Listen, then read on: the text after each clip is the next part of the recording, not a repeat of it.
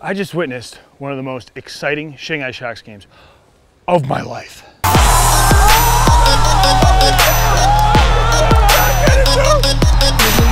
Marbury's last game playing in the Shark Tank.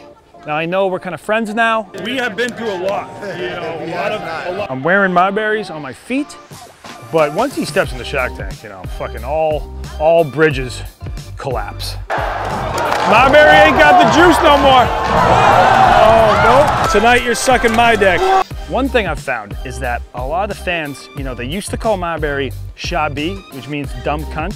Stop it! Fuck the Ducks! Stop it! Fuck the Ducks! Stop it! They've uh, they've made it PG. They've gone down to calling him loser. Loser! Loser! Loser! Loser! Loser! Loser! Loser! Loser!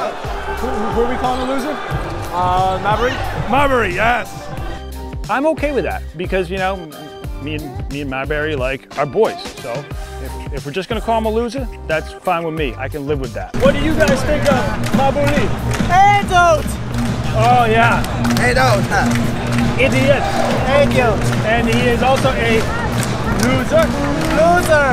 Bicho, bicho! Sadly, though, when the Sharks needed me most, and the Mormon Megalodon and Starbury were about to chuck Nux, I was busy swimming through a sea of groupies so I could get some beers and Fanta.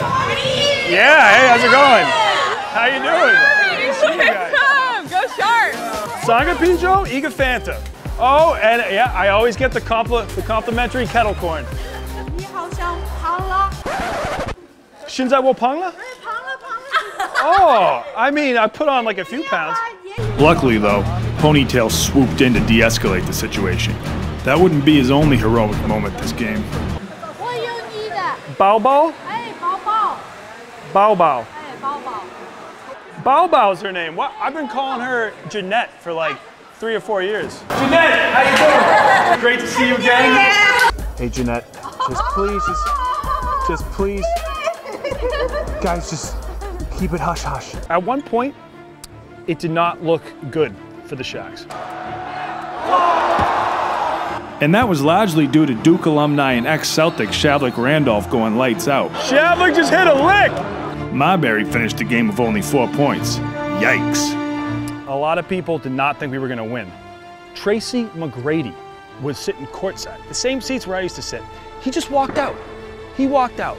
We were down by like fucking whatever was it, like five or four with 17 seconds left. He just he just bounced.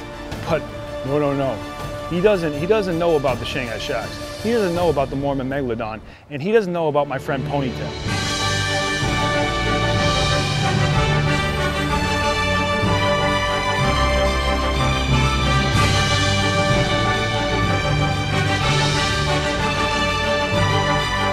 Ponytail stole the ball, ran up, and dunked it.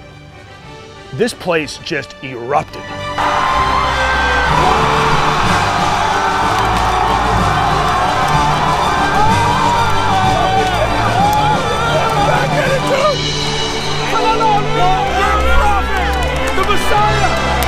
I thought all the water was just gonna spill out of the tank. People were going so crazy.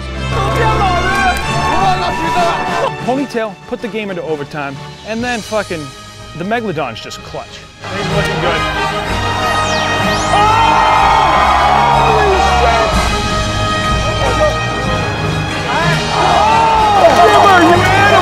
He was just fucking boom, boom, boom. He didn't even have shots, just throwing it up.